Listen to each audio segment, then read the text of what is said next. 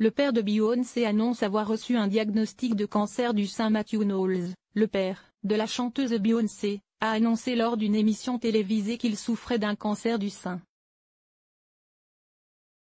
Une affection rare, méconnue, voire taboue, chez les hommes.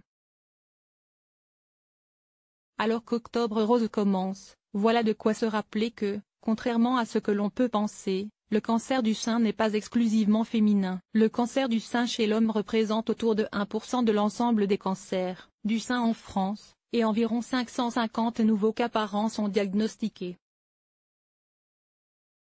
Conscient de lever un tabou autour d'un sujet méconnu, Matthew Knowles, le père de la célèbre chanteuse, Beyoncé, a révélé avoir reçu un diagnostic de cancer du sein plus tôt cette année. Âgé de 67 ans, l'ex-manager des Destiny's Child a évoqué son combat dans l'émission télévisée Good Morning America GMA. C'est après avoir remarqué des taches de sang sur ses chemises et sur ses draps que Matthew Knowles s'est rendu chez son médecin, qui lui a prescrit une mammographie, qui a permis de poser le diagnostic.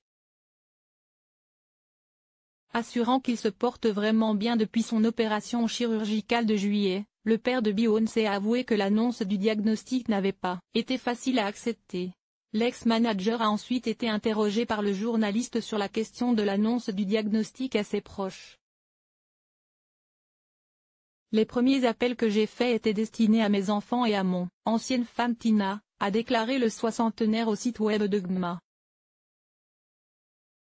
Ma femme, Jenna, le savait déjà, a-t-il précisé.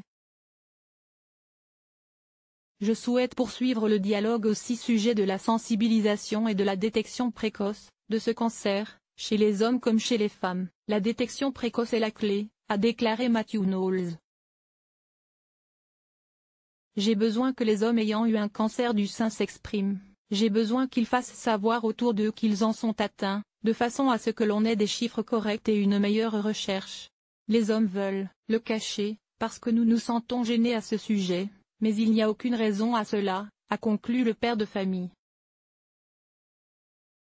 Source, BBC